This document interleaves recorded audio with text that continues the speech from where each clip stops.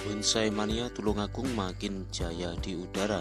Sahabat bonsai semuanya, pecinta bonsai, kawan-kawanku, sahabat sehobi, salam satu hobi bonsai mania Tulungagung semakin jaya di udara. Mantap, tor.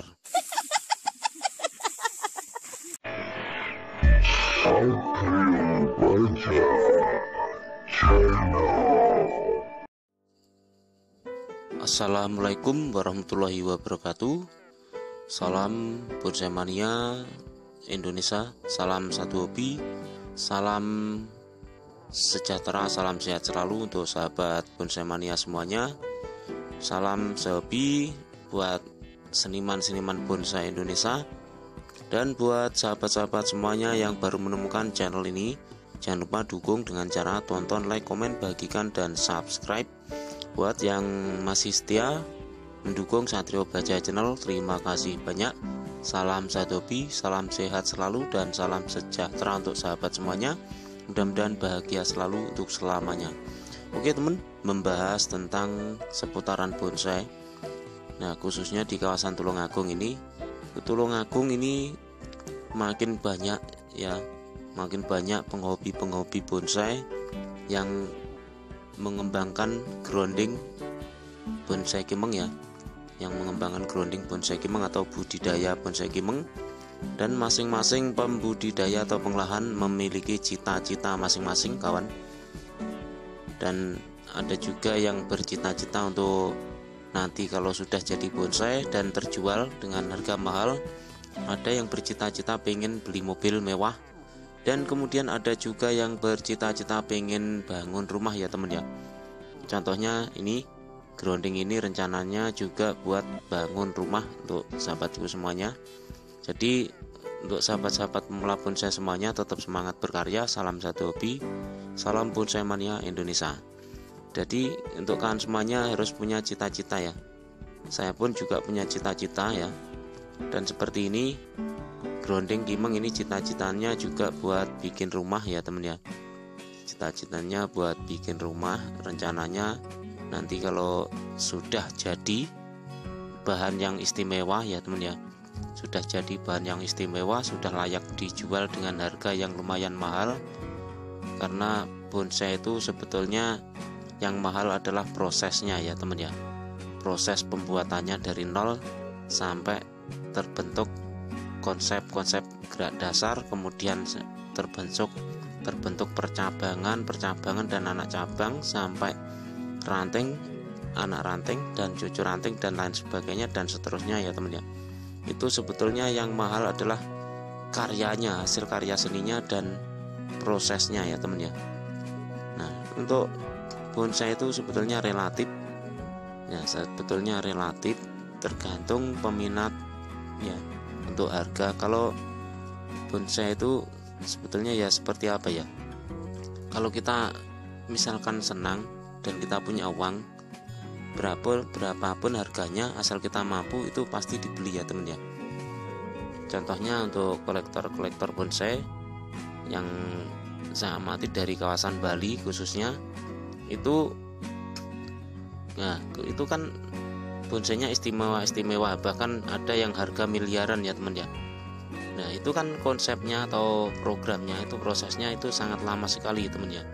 Jadi untuk harga bonsai satu miliar itu bagi saya itu sudah sangat luar biasa. Karena seumur-umur ya seumur-umur untuk ukuran kita untuk khususnya saya itu belum pernah memegang uang satu miliar. Nah, tapi untuk kawan-kawan sahabat pemula, eh sahabat pembonsai atau kolektor di Bali sana itu sudah biasa ya, sudah biasa bonsai harga miliaran itu sudah biasa, minimal ratusan juta sudah biasa ya sahabat ya. Jadi untuk seni bonsai itu yang mahal itu bukan dari bahannya. Kalau bahannya itu sangat murah sekali ya. Contohnya ini bahan bonsainya ini cuman harga 25 ribuan ya tapi kalau sudah seukuran ini harganya sudah mencapai satu juta setengah bahkan 2 juta ya. Ini program satu tahun di pecah batang ya teman ya. Dan nanti kalau sudah mencapai 4 tahun 5 tahun bahkan sampai 10 tahun itu satu batang itu bisa mencapai harga puluhan juta rupiah ya teman ya. Mencapai puluhan juta rupiah. Jadi sudah tidak heran lagi kalau nanti budidaya grounding kimeng kita rawat dengan baik kita konsep dengan baik semaksimal mungkin. Kita program seindah mungkin serapi mungkin dan se apa ya sebagus mungkin. Nah untuk beli rumah pun mungkin insya Allah ya bisa ya teman ya. Kalau kita groundnya banyak dan programan kita istimewa tentunya kita juga bisa beli rumah ya teman ya jadi tak heran untuk sahabat-sahabat semuanya yang menekuni tentang bidang bonsai seni bonsai itu bisa beli mobil beli motor bagus beli rumah ya. Itu karena beliau-beliau semuanya itu memang benar-benar menekuni dan bukan cuma sekedar iseng ya teman ya. Jadi kalau kita menekuni dunia seni itu sebetulnya bisa menghasilkan uang yang cukup banyak ya teman ya bisa menghasilkan uang cukup banyak asalkan kita benar-benar menekuninya benar-benar kita mampu berkarya seni yang luar biasa berkarya seni yang bagus yang istimewa ya teman ya. Jadi sahabat-sahabat pemula semuanya contohnya seperti saya juga pemula jadi tetap semangat berkarya sahabatku ya. Pokoknya Satrio Baca channel ini intinya memberi dukungan semangat untuk sahabat-sahabat semuanya memberi support semangat dari konten-konten Satrio Baja. Ini intinya kita untuk saling dukung untuk memberi dukungan semangat untuk sahabat semuanya ya. Oke buat sahabat bonsai pemula semuanya pokoknya semangat terus berkarya berjuang kreativitas ini tanpa batas. Mari kita sama-sama belajar sama-sama kita belajar berkarya kita sharing walaupun kita tidak bisa bertatap muka yang jelas kita bisa saling sharing ya teman ya. Saling sharing berbagi pengalaman lewat konten-konten kali ini ya.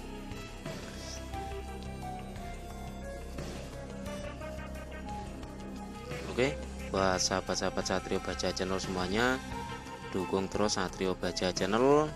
Doakan Satrio Baca Channel cepat berkembang dan mudah-mudahan bisa terus berbagi pengalaman, menginspirasi sahabat semuanya, mendorong semangat sahabat pemula semuanya, dan berbagi ilmu yang bermanfaat dan berbagi seputaran tanaman, perkebunan, pertanian, perbonsaian, petualangan dan lain sebagainya ya sahabat ya.